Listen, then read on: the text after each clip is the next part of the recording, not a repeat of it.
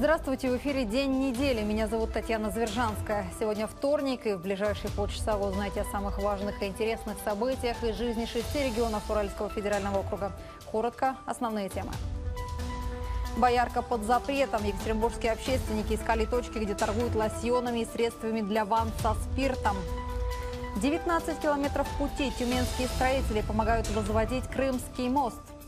Не все елки одинаково законны. На челябинских новогодних базарах прошла проверка. Год до запуска, как идет строительство центрального стадиона в Екатеринбурге и как к Мундиалю готовятся волонтеры, расскажет гость дня. И экономические новости. Покупки через интернет подорожают и какие вакансии на Южном Урале самые высокооплачиваемые. Продажа непищевых жидкостей с содержанием спирта более 25% в России теперь официально запрещена. Вернее, приостановлена на 30 суток. Это предписание Роспотребнадзора. Сегодня общественники Екатеринбурга вышли в речь, чтобы проверить, как торговцы соблюдают запрет. Сюжет Анастасии Кондрашовой.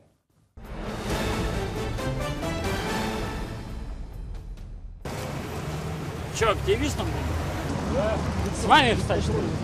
Эту торговую точку общественникам подсказал местный любитель суррогата. За прилавком и вправду обнаружили полные коробки фунфыриков. Это косметический лосьон. Его основное назначение – для очищения и облагораживания кожи. Спирта 75%. Покупают, разумеется, не гламурные красавицы.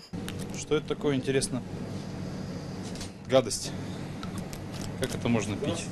В этом киоске на остановке выбор фунфыриков на любой вкус и кошелек. Коробка с этиловым спиртом, почти пустая, с медовым тоником, пользуется особым спросом. То есть это можно пить, да, вы считаете?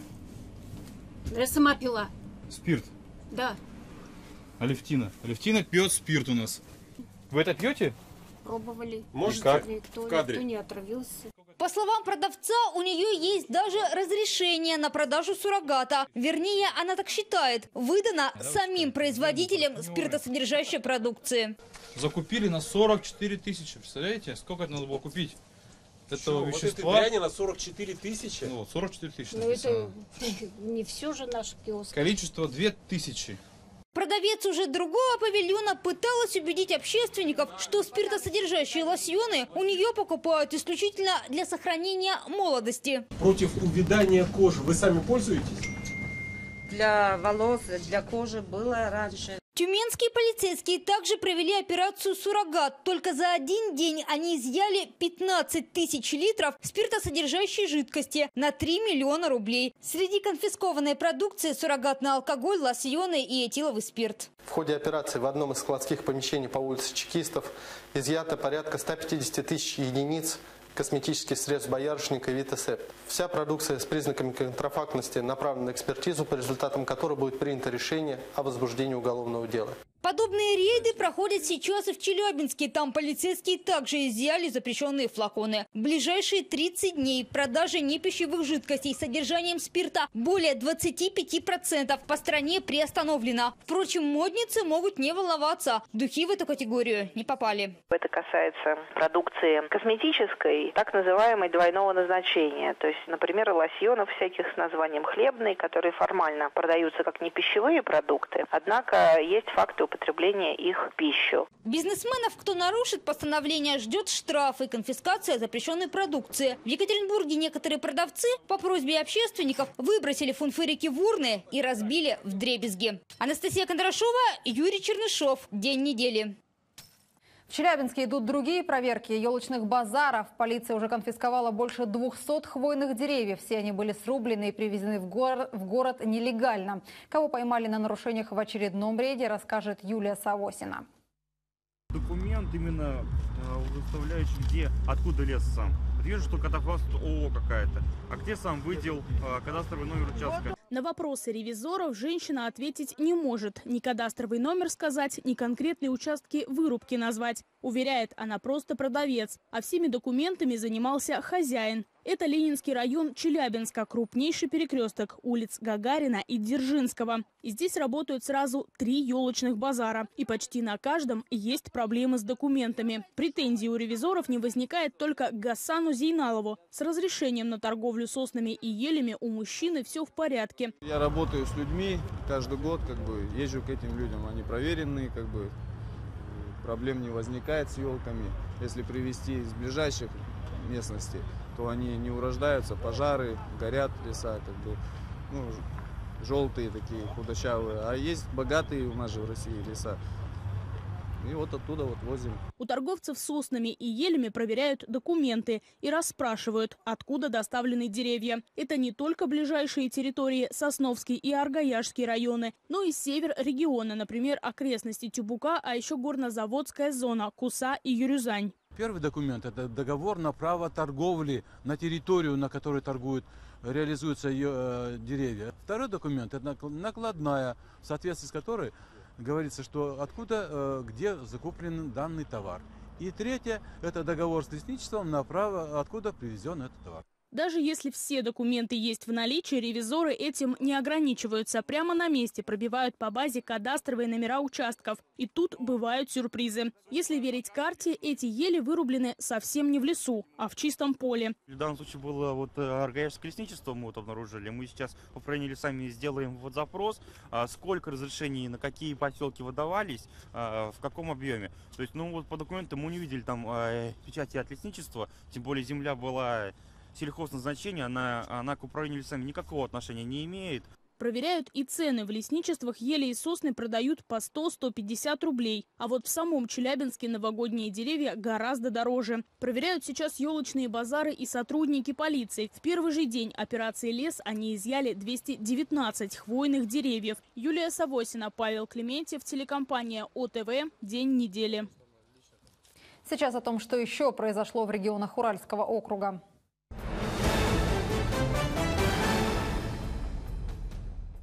В 2016 году за задержку рейсов в Урфо перевозчики были оштрафованы на миллион рублей. Антирекорд поставила авиакомпания «Центр Юг», задержавшая рейс на 19 часов. Итоги подвели в Уральской транспортной прокуратуре. Одна из главных задач, которые поставили перед ведомством – не допустить никаких ЧП на транспорте. Некоторые направления потребуют усиленного внимания. Это обеспечение транспортной безопасности. А, нам предстоит с вами сделать все, чтобы антитеррористическая защищенность была повышена.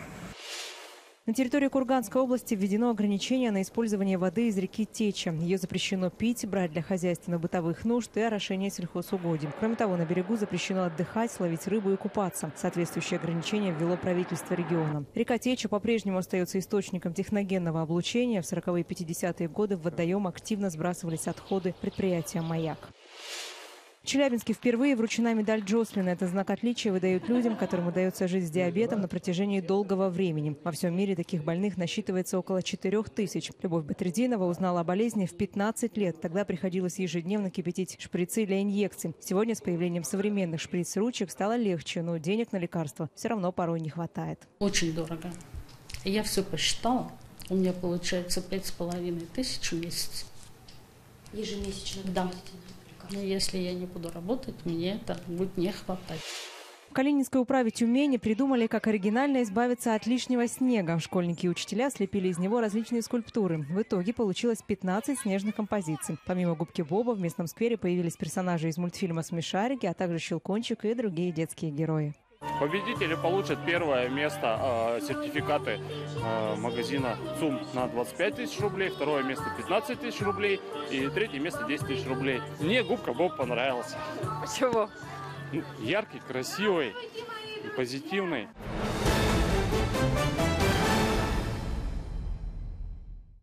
Далее короткая реклама, затем вы узнаете, как проходит подготовка волонтеров к играм чемпионата мира по футболу в Екатеринбурге и насколько подорожают покупки через интернет.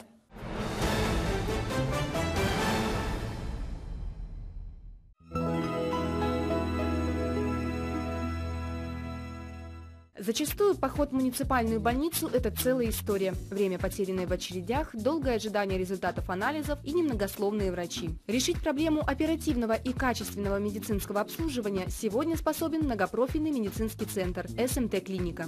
СМТ-клиника – это мини-государство, которое имеет свою терапевтическую, диагностическую, лабораторную и хирургическую службы. Современный медицинский центр вообще в представлении, что сейчас такое, это, во-первых, качественно подготовленные специалисты, которые владеют современными методиками лечения, раз.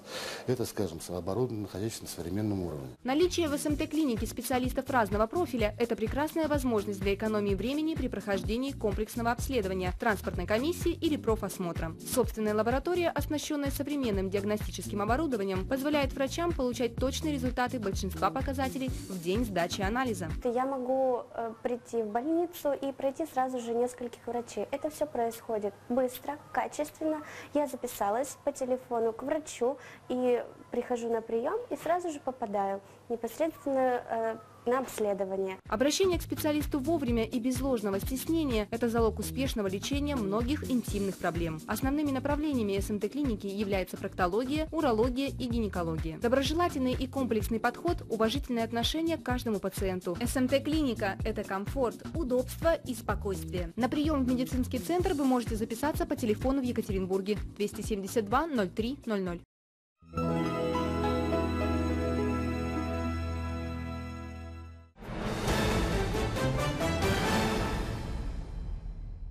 Вы смотрите «День недели». Сегодня вторник, и мы продолжаем. Тюменские строители трудятся над сооружением Крымского моста. Им предстоит возвести над морем конструкцию длиной километр 800 метров. Такой сложный монтаж на своих объектах бригады не выполняли. Александр Сосновский о том, какой вклад в масштабный российский проект вносят тюменские строители.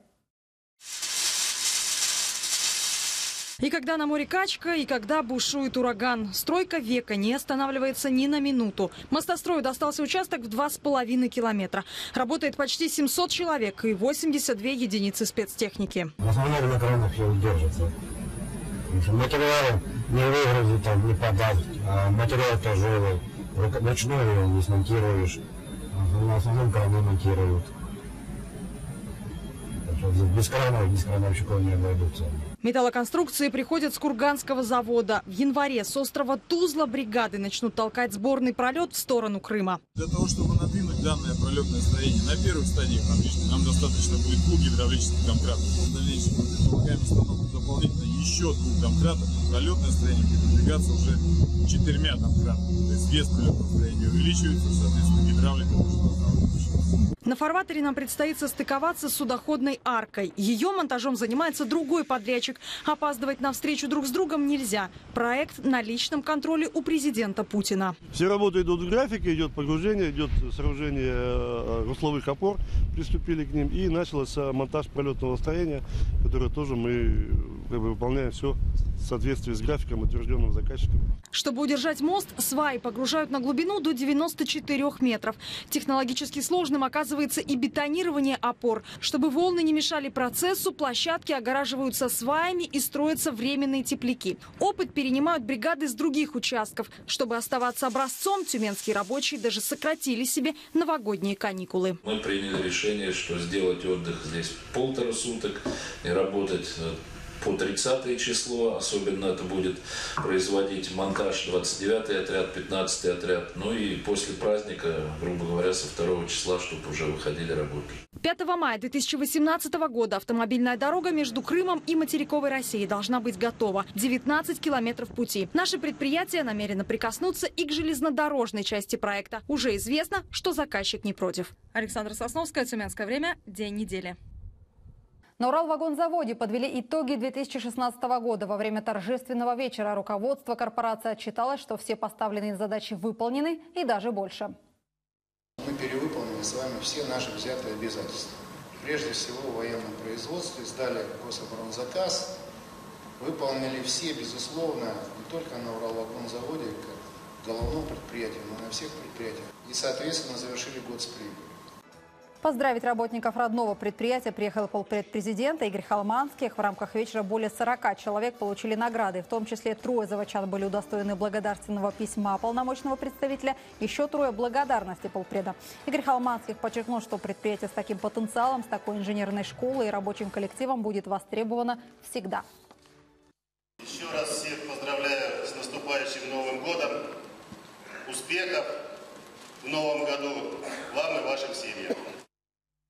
Готовность центрального стадиона в Екатеринбурге к проведению игр чемпионата мира по футболу в 2018 году сегодня показали журналистам. Ровно через год спортивная арена должна быть запущена. Сегодня строители опережают график. Роман Варьяненко побывал на объекте.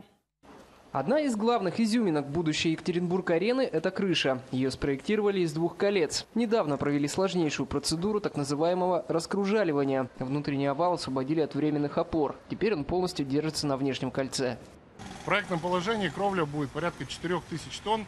Э, ну, скажем так, с бытовой точки зрения, это железнодорожный состав, подвешенный в воздухе. Да? Вот. Э, кровля имеет, скажем так, впуклую форму, не выпуклую, а впуклую. Вот. Э, за счет этого вес металлоконструкции снижен э, в полтора раза. Кровля с подсветкой станет украшением города. Обновленный спорткомплекс будет щеголять полем с подогревом и искусственным орошением. Но главное, по требованиям ФИФА стадион увеличит вместимость почти в три раза, до 35 тысяч болельщиков. Трибуны для них будут разными, от стационарных до разборных. Подобная компоновка трибун – это в первую очередь забота о зрителях. Дело в том, что Екатеринбургский стадион будет лишен так называемых слепых зон. Это означает, что с каждого места, каждому фанату будет виден любой самый интересный, самый значимый эпизод игры. В стадии строительства сегодня микс-зона, пресс-центр и сектора для фанатов. Ежедневно здесь трудится до тысячи строителей. Работы ведутся с опережением. Стадион, что называется, под ключ, торжественно сдадут в декабре следующего года. Остается все меньше времени до стартового свистка Мундиаля. Не исключено, что мировой чемпионат окажет серьезное влияние и в целом на уральский футбол. Все больше разговоров сегодня идет о строительстве в Свердловской области Академии футбола. Но прежде нужно принять сам турнир. До него остается меньше двух лет. В Екатеринбурге пройдет четыре матча. Роман Марьяненко, Вадим Шолохов. День недели.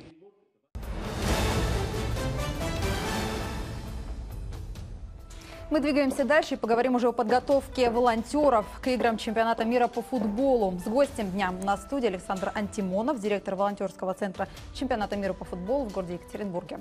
Здравствуйте, Александр. Здравствуйте. Скажите, пожалуйста, сколько волонтеров нужно, чтобы у нас прошло организовано да, это мероприятие такого уровня? А сколько уже набрано и продолжается ли набор сейчас? Да, а, всего мы ориентируемся на цифру 2000 волонтеров сейчас. А вот, а, уже более 6 тысяч заявок подано а, от кандидатов в волонтеры именно на участие в чемпионате мира по футболу в нашем городе Екатеринбурге. А, проведено уже более полутора тысяч интервью с кандидатами в волонтеры на данный период, на данный момент. А, ну и, соответственно, все желающие, все, кто еще не подал заявку, да, а, могут это сделать до 30 декабря включительно и так завершить этот год на мажорной ноте, подать а, заявку и стать кандидатом в волонтеры чемпионата мира по футболу. Ну, желающих, то есть очень большое количество, я так понимаю. А, собственно, что это за интервью, что вы них спрашиваете, и какими должны они обладать уже изначально навыками? Да, но там несколько этапов отбора. Все начинается с заявки да, в, электронной, в электронном виде на сайте FIFA. А после этого кандидату предлагается пройти а, тест на, скажем так, деловые способности. Да, то есть там как раз-таки его определенные навыки, качества, такие как коммуникабельность, стрессоустойчивость, организованность, а, проверяются да, определенными тестами. А, после этого еще есть тест на знание английского языка. Вот, уже с данными тестами а, кандидат получается, допускается до интервью, а, где как раз-таки наши уже подготовленные интервьюеры спрашивают э, такие позиции, как мотивация волонтера, то есть почему он хочет стать волонтером чемпионата мира по футболу, его опыт обязательно волонтерский, мы уточняем, был ли или, или, или это первое для него мероприятие подобного уровня. Ну и в принципе основное, что происходит в, интер, в процессе интервью по итогам его, а кандидат, ну скажем так, распределяется на определенную функцию, на определенное направление функциональное в, в соответствии с его желанием, безусловно, и с его навыками, которые, которыми он уже обладает на данный момент. Вот. Какая мотивация должна быть, ну, на взгляд тех, кто организовывает это все? Что может э, сподвигнуть, сподвигнуть взять человека? Именно какая мотивация? Ну, в принципе, наше видение на мотивацию и то, что говорят нам кандидаты волонтера, оно совпадает, mm-hmm. да, и это в первую очередь, конечно же, новые знакомства, новые контакты, коммуникации. А, потому что чемпионат мира по футболу – это уникальная возможность, да, а, я вот говорю, знаете, как э, совершить кругосветное путешествие, не, не выходя из города своего, да, то есть когда весь мир приезжает в Екатеринбург, можно будет пообщаться с разными людьми, с разными культурами, с разными народами на разных языках мира и приобрести друзей, первую очередь, да, и потом уже реально кругосветное путешествие совершать. Вот, это первый такой основной фактор. А, безусловно, важным фактором является такое желание быть сопричастным, да, то есть желание принять участие в самом грандиозном да, за последние годы а, событии, в первом в истории в нашей стране чемпионате, чемпионате мира по футболу. Вот, поэтому это второй фактор. Ну и, конечно, такой третий фактор, э, как это правильно сказать, он, наверное, с первым как-то перекликается. Это вот э, такое общение, друзья. И, знаете, есть такой момент, а, приедут в Екатеринбург профессионалы своего дела со всего мира, опять же, да, то есть там телевизионщики те же самые, да, а, разные, разного уровня, да, вот эти люди, а, которые будут делать чемпионат мира по футболу, это возможность у самых ну, скажем так, крутых специалистов своей, своего профиля, своей области плечом к плечу, да, рука об руку с ними поработать, э, поучиться чему-то, получить интересный там, графу плюс в резюме свое. То есть это тоже немаловажный момент э, для такого дальнейшего, возможно, трудоустройства. Потому что все-таки волонтеры у нас это ну, молодые да, ребята, сред... ну, такое молодое население, средний возраст там 20-22 года у нас. Но, конечно же, это не значит, что мы не ждем а, людей среднего возраста и старшего. Мы всем рады, мы всех ждем. И важно рассказать сейчас, да, что критерий возрастной есть, да, 18 лет. На 10 мая 2018 года необходимо волонтеру иметь возраст. Вот. А следующего года мы запускаем программу «Городские волонтеры». Это еще одна программа. И там мы уже 16-летних ребят будем брать тем, кто на момент 16, 10 э, мая 2018 года будет 16 лет. Среди тех, кого уже отобрали, как будет проходить обучение? Ну, наверное, волонтер не только должен знать там английский язык, понятно, э, там еще какие-то навыками обладать, не знаю, оказать первую помощь, например. Что будет в их функции входить? Да, обучение запланировано действительно на вторую половину 2017 года, когда пройдет Кубок Конфедерации уже в четырех городах нашей, страны. И здесь, в волонтерских центрах чемпионата мира по футболу, которых 15 по всей России, начнется такое массовое обучение. А, в первую очередь, конечно, а, обучение будет, опять же, направлено на основные компетенции, такие как командность, да, работа в команде, умение работать в команде, а, стрессоустойчивость, организованность, проактивность. Но при этом будет большой блок, скажем так, вещей, связанных с историей чемпионата мира по футболу, да, скажем, с уникальностью вообще события в нашей стране, чтобы волонтеры максимально могли, ну, скажем так, обладать полной информацией и быть в курсе. Плюс, конечно же, запланирован блок, связанный с историей города, да, то есть, э, потому что волонтеры будут стоять на улицах города Екатеринбурга и должны а, не только показать рукой, да, там, навигацию, куда э, пройти болельщику, но и ответить на любой вопрос, mm-hmm. в том числе связанный с какими-то фактами. Вот. А про первую помощь сейчас пока идут, идут такие у нас дискуссии, то есть, а, потому что а, волонтер, а, в принципе, не должен обладать навыками оказания первой помощи. Mm-hmm. Он должен а, максимум, что сделать, это, ну, скажем так, создать пространство для того, кто попал в какую-то ну, ситуацию, ну, то есть чтобы люди не толпились uh-huh, вокруг, uh-huh. да, принести воды, вызвать скорую uh-huh. помощь, вот такие вот первые, скажем так, самые шаги, да, вот, поэтому пока еще вопрос, мы еще думаем, и образовательной программой занимается федеральный оргкомитет, а мы, скажем так, на месте, как волонтерский центр, уже будем ее реализовывать, когда она будет утверждена. Хорошо, спасибо вам большое за беседу, будем э, смотреть, как она будет реализовываться. Я напомню, мы беседовали с Александром Антимоновым, директором волонтерского центра чемпионата мира по футболу в городе Екатеринбурге о подготовке к Мундиалю в 2018 году, а далее у нас Новости экономики.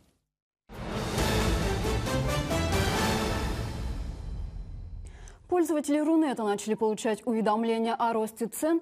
В России зафиксирован рекордный приток денег из-за рубежа, и курганским бюджетникам пообещали рост зарплат. Здравствуйте, в студии Анастасия Горохова, и сейчас о новостях экономики подробнее. Итак, с Нового года подорожают зарубежные онлайн-продукты. С января в стране вводится новый налог на цифровой контент, так называемый налог на Google. Иностранным компаниям придется встать на учет в налоговой службе и платить НДС. О росте стоимости сервисов, игр и товаров на 18-20% предупредили такие интернет-гиганты, как Nintendo, Amazon и ряд онлайн-кинотеатров. Под действие закона также попадают покупки в App Store и Google Play. На первых порах от налога на Google правительство планирует получить 10 миллиардов рублей. Между тем, иностранные компании уже завалили российский рынок деньгами. В этом году международные инвесторы вложили в наши акции рекордный объем средств – 727 миллионов долларов. Эксперты прогнозируют дальнейший приток инвестиций в страну. Этому способствует ожидание налаживания отношений с США. Максимальное количество денег планируют сберечь и на счетах обычных россиян. Банки придумали, как обезопасить средства от мошенников. Они начнут запрашивать у мобильных операторов сведения, менял ли тот или иной клиент сим-карту. В последнее время в стране участили случаи, когда злоумышленники по поддельным документам получают копии симок в салонах связи и потом снимают чужие деньги в интернет-банках. А теперь к новостям в регионах. В Челябинской области составили рейтинг самых высокооплачиваемых вакансий года. На первом месте оказался менеджер по продажам с зарплатой 300 тысяч рублей. Далее следует технический директор и водитель с личным автомобилем для развоза хлеба. Им предлагали 150-200 тысяч. Замыкает рейтинг преподаватель английского языка в Китае. В Курганской области достойную зарплату в следующем году обещают работникам культуры. Она вырастет на 35%. На эти цели из областного бюджета направят более 300 миллионов рублей. Сюрпризы в новом году подготовили и врачам. Зауральские медики смогут получить субсидию на оплату части ипотеки. Региональная казна внесет 20% от стоимости жилья. Право на получение субсидий имеют медицинские работники, имеющие высшее медицинское образование и являющиеся участниками подпрограммы развития ипотечного жилищного кредитования в Курганской области. После получения субсидий медицинский работник обязан отработать не менее 7 лет. И в конце статистика, которая удивила Центробанк. Россияне впервые за долгое время предпочли не тратить большую часть своей зарплаты на подготовку к Новому году и отложили деньги. Жители страны начали переходить переходить на новую экономическую модель поведения – сберегательную. Это уже положительно отразилось на инфляции. Рост цен снизился до рекордных 5%. На этом о новостях экономики все. До свидания и удачи в делах.